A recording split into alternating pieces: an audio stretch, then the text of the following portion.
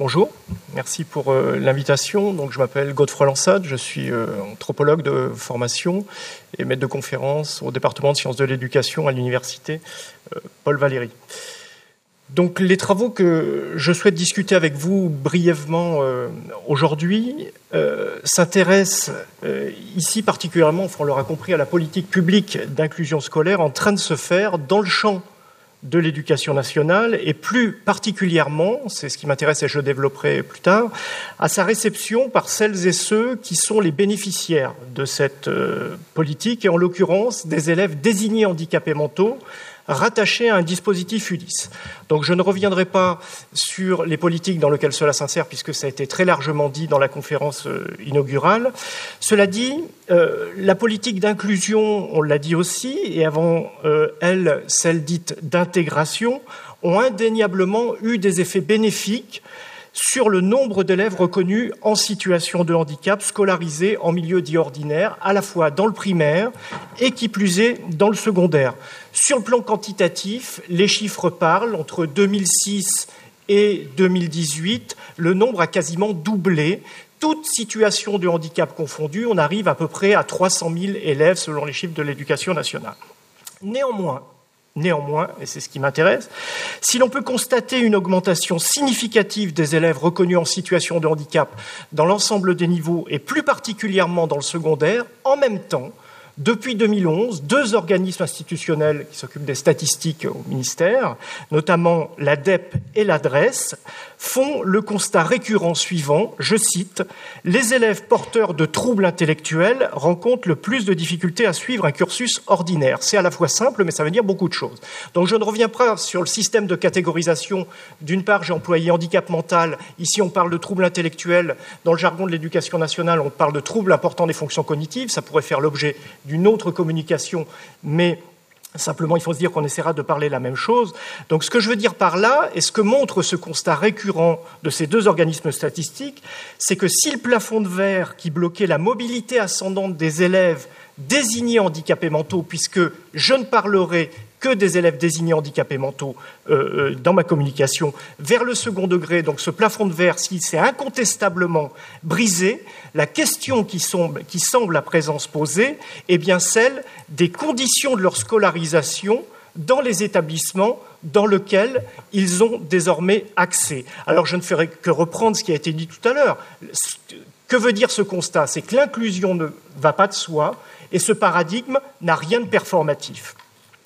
Donc c'est dans ce contexte qualifié de changement de paradigme, de l'intégration vers l'inclusion, que je me suis attaché à examiner conjointement deux choses. D'une part, l'école inclusive en train de se faire de manière processuelle, et je reviendrai dessus, et les conditions concrètes de son application à travers un dispositif Ulysse d'un lycée professionnel.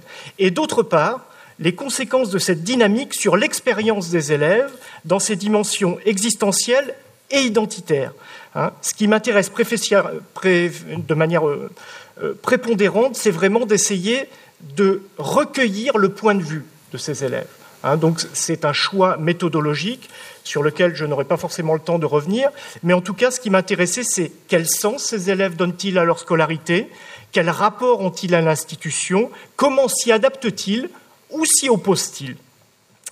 J'ai ainsi réalisé une monographie d'un dispositif pendant trois ans, hein, je suis allé dans un lycée professionnel où j'ai essayé de m'intéresser au point de vue de ces élèves, et non à partir d'un échantillon représentatif qu'il s'agirait de mettre à jour des régularités statistiques. Donc il s'agit véritablement d'une démarche casuistique, hein, décrivant des situations emblématiques, ordinaires, révélatrices des expériences des élèves, mais absolument pas dans un niveau de l'échantillon. Par ailleurs, et cela a été dit et, commencé à être euh, décrit dans la conférence inaugurale, euh, l'inclusion n'est, à n'en pas douter, ce n'est pas un état figé et définitif. C'est indéniablement un processus. Hein. Le paradigme d'inclusion, je pourrais dire, travaille comme du bois vert, et heureusement, et se situe à la croisée des tensions entre les discours sur ce paradigme et les conditions concrètes euh, d'accomplissement de ce même paradigme, en gros, sur sa faisabilité. Donc, par rapport à cette idée processuelle du concept d'inclusion, que je trouvais pour ma part, dans le cadre de ma recherche, trop massif, en tout cas trop peu révélateur des effets de réel sur les élèves rattachés au dispositif. Et pour rester dans l'idée de considérer ce paradigme de manière processuelle, j'ai fait le choix, qui est un choix méthodologique, hein, un choix pour pour analyser la complexité du terrain et la complexité du réel, de définir trois dimensions. Trois dimensions.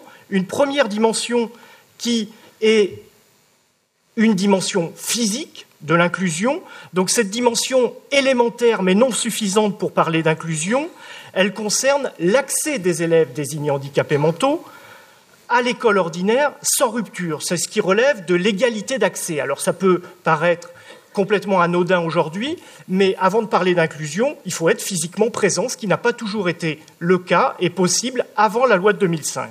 Vous l'aurez compris, cette première dimension est bien entendu non suffisante. On sait très bien que la présence physique n'est pas suffisante pour pouvoir parler véritablement d'inclusion telle que ça a pu être défini précédemment. Donc c'est en cela que j'ai défini une deuxième dimension, qui est la dimension sociale, parce que la proximité physique n'implique pas de facto, pour parler comme Erving Goffman, des contacts mixtes entre les élèves euh, désignés handicapés mentaux et ceux qui ne le seraient pas. Cette deuxième dimension questionne la manière d'être à soi et aux autres dans la situation où les élèves rattachés au dispositif sont reconnus en situation de handicap. Dernière dimension, je vais très vite, dimension que j'ai nommée épistémique, alors peut-être de manière un peu cuistre, mais je pourrais m'en expliquer euh, euh, peut-être lors, des questions. Cette dernière dimension, euh, concerne l'appropriation des objets de connaissance et l'accès aux apprentissages. Pour moi, une dimension pédagogique aurait été trop restrictive, comme aurait pu l'être aussi la dimension didactique. Donc la dimension épistémique, pour moi, permettait justement de ouvrir plus largement sur tout ce qui touche dans le rapport au savoir. À partir de ces trois dimensions, et dans le temps qui m'est imparti, euh, je voudrais revenir sur quelques-uns des effets que j'ai pu observé justement dans le cours de mon travail de recherche. Donc premier point, j'organiserai ce propos en trois points, justement, qui reprendront cette dimension physique, sociale et épistémique. Donc ce premier point que j'ai nommé franchir le seuil du lycée entre parcours individuel et logique institutionnelle signifie que quand on interroge les élèves au lycée, en lycée professionnel, ils ont tous dans l'idée dès le collège, mais dès l'école primaire, de cette continuité logique après l'Ulysse-école. C'est pas rien. Maintenant, on pourrait dire c'est rentrer dans les représentations des élèves. Si on leur pose la question après l'Ulysse-école, eh bien, ils ont envie d'aller à l'Ulysse collège. On a compris parce qu'on allait au collège et à l'Ulysse lycée parce qu'on allait au lycée. Donc il y a vraiment cette prise de conscience qui est importante, hein, puisque euh, le terme de projet revient ad libidum dans euh, euh, dans le, ce qui est proposé dans le cadre de l'éducation nationale. Donc le projet, c'est quelque chose qui se pense à la première personne. Hein. Donc en effet, les élèves, la plupart du temps, en tout cas ceux que j'ai rencontrés, eh bien, euh, voit vraiment cette continuité. C'est aussi, et vous l'avez compris, sans jeter l'opprobre sur le travail qui est fait euh, dans le cadre des établissements spécialisés, mais aussi pour ces élèves, c'est une alternative au milieu spécialisé et de rejeter quelque chose qu'ils ne souhaitent pas. Sans doute par méconnaissance, parce que je pense qu'il y a énormément de méconnaissance vis-à-vis des établissements spécialisés, mais en tout cas, nombre des élèves que j'ai pu rencontrer ne souhaitent pas euh, justement être scolarisés en milieu spécialisé. Euh, donc, si ce, processus est véritablement rentré euh, euh, dans les représentations, eh j'ai relevé un autre point qui était assez inattendu, celui que j'ai noté, que j'ai nommé la lutte des places. Bien entendu, puisque ces élèves se retrouvent à devoir aller, pouvoir aller, pardon, et non pas devoir, pouvoir aller au lycée, eh bien, ces élèves se sont retrouvés en concurrence avec d'autres élèves sur des dispositifs que euh, vous connaissez tous, je n'en doute pas, qui sont les CAP dits réservés. Au départ, c'était des CAP réservés aux élèves qui étaient issus de sections d'enseignement général et professionnel adapté, mais les élèves du LIS peuvent maintenant prétendre aller justement dans ce type de euh, dispositif. Donc, Merci. Euh, donc du coup, il y a une, une, inclusion différenciée qui se met en place, en gros une concurrence, et je vais conclure très rapidement ce point. La concurrence tient au fait du nombre de places, mais aussi n'oublions pas que les classes à CAP pour le faire très vite, sont des classes à examen, pour lesquelles il y a une attente très forte en termes de réussite. Les chefs d'établissement ont des dialogues de gestion et doivent rendre des comptes sur les résultats de euh, des élèves et on se retrouve parfois une de plus, hein, puisque euh, euh, l'espace social est saturé d'injonctions contradictoires, mais avec le devoir d'inclure des élèves dans ce type de dispositif, mais à la fois des élèves qui sont susceptibles, pour nombreux, de ne pas réussir justement à obtenir le diplôme. J'en viens à mon deuxième point. Le deuxième point, je passerai peut-être plus vite parce qu'il a été déjà dit, mais en tout cas concernant la dimension sociale de l'inclusion, le dispositif Ulysse, comme l'assignation à la catégorie d'élèves handicapés, reste un stigmate pour les élèves. Donc, vous l'avez cité euh, tout à l'heure, vous l'avez cité tout à l'heure euh, euh, en faisant référence à Goffman. Ce que Goffman a dit en 1975 et avant, je crois, est toujours d'actualité, même si on pourrait reprendre certains de ses points, mais ce n'est pas, pas le but aujourd'hui. En tout cas, il y a une véritable difficulté par l'usage des mots et l'assignation que l'on fait, qui se révèle extrêmement délétère et préjudiciable pour, sur la vie sociale des élèves, d'être rattaché à un dispositif, même si on est inclus dans une classe ordinaire, on reste toujours avec cette étiquette. Marie Douglas, euh, l'anthropologue, aimait à dire les étiquettes collent. En effet, les étiquettes collent et il est très difficile euh, de s'en déprendre. Dernier point, Dernier point, et, pour aller euh, très vite, c'est ce qui toucherait à la dimension épistémique. Alors, ce, qu'ont pu me dire les, c'est redoutable. Euh, ce, qu'ont pu me dire les, les, élèves, notamment, pardon, je vais vous le passer comme ça, vous pourrez lire tout en m'écoutant. En gros, une des difficultés, mais ce n'est pas nouveau, des dispositifs qui sont censés justement prendre en charge les difficultés et répondre au plus près des besoins des, élèves, c'est le fait de vivre une scolarisation partagée.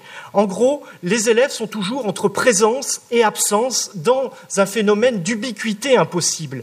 Quand ils sont dans leur classe ordinaire, eh bien, ils ne sont pas dans le dispositif Ulysse où ils travaillent le lire, écrire, compter, ils ont besoin de ça. Mais quand ils sont dans le dispositif Ulysse, l'enseignement dans les autres classe continue d'avancer. Alors on ne peut que, souhaiter un travail collaboratif qui puisse justement essayer euh, de, reprendre ces choses-là et de dépasser ces choses-là. Mais il est très difficile de vivre ça. Et je, ne, fais que citer, il faut penser que les élèves qui sont rattachés à des dispositifs Ulysse bénéficient aussi sur le temps scolaire de soins. Donc, une fois de plus, ils sont absents. Donc, ils vivent dans cette présence et cette absence qui, une fois de plus, euh, est véritablement délétère pour leur scolarisation, indépendamment de leurs propres difficultés qui seraient un effet de leur, euh, euh, de leur, euh, de leurs déficiences qui leur sont particulières. Donc ça, c'était le point principal que je voulais traiter dans ce troisième point, et j'en viens à conclure donc les autres points qui étaient tout aussi importants, mais en tout cas, je n'aurai pas le temps de développer. J'en viens à conclure assez, rapidement. Simplement, ce que je tire, mais, c'est caricatural parce qu'il faudrait beaucoup plus de temps pour pouvoir en parler, c'est que le dispositif Ulysse se comporte un petit peu comme euh, un petit pharmacone, hein, du grec ancien, qui est le remède et à la fois le poison le remède parce que l'inclusion scolaire des élèves qui, sont en dispositif Ulysse ne pourrait pas être inclus sans être attaché à ce type de dispositif qui leur vient en aide. Mais c'est à la fois le poison par l'assignation qu'ils ont à ce dispositif et par le fait que quand ils sont dans ce dispositif, eh bien, ils ne sont pas dans la classe dite ordinaire, justement, qui participe de cette inclusion. Je conclus, je vous remercie. Je suis désolé pour la brièveté de ces propos. En tout cas, j'espère que ça pourra susciter. Merci.